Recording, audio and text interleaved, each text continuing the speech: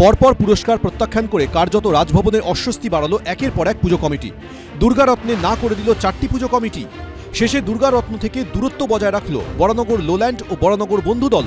বুধবারই রাজ্যপালের দুর্গারত্ন পুরস্কার প্রত্যাখ্যান করে কল্যাণী আইআইটি মোড়ের লুমিনাস ক্লাব। রাজ্যপালের পুরস্কারপ্রাপ্ত আরেক পুজো কমিটি টালা প্রত্যয়ও জানিয়ে দেয় তারা পুরস্কার নিচ্ছে না। বৃহস্পতিবার বরানগরের লোল্যান্ড ও বন্ধুদল ক্লাবও জানিয়ে দিল তারা এই পুরস্কার নিচ্ছে না। দুই পুজো উদ্যোক্তাকে সঙ্গে নিয়ে সাংবাদিক বৈঠক করে বৃহস্পতিবার একথা জানিয়ে দিলেন বরানগরের তৃণমূল বিধায়ক। দুর্গা রত্ন যে পুরস্কার, সেই পুরস্কার গ্রহণ আমরা করছি না, আমরা প্রত্যাখ্যান করছি।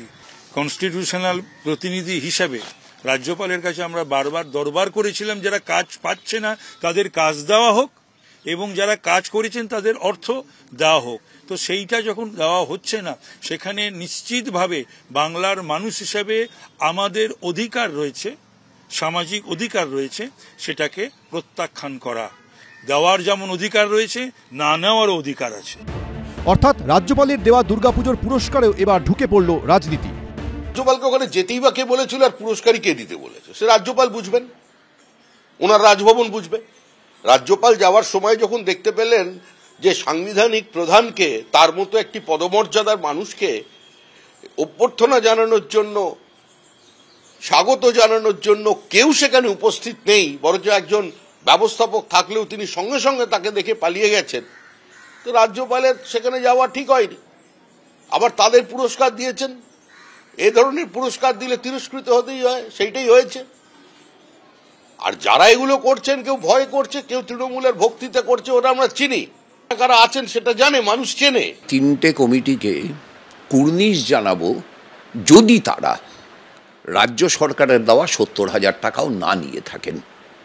আর যদি দেখা যায় রাজ্য সরকারের সত্তর হাজার নিয়েছেন রাজ্যপালেরটা নিচ্ছেন না, তাহলে তাদের কাছে জিজ্ঞেস করব যে আপনি সরকারেরটা নিতে পারেন সরকারের প্রধানেরটা নিতে পারেন না কেন? এখন প্রশ্ন হচ্ছে যে সেই টাকাটা একটা কমিটি দিল।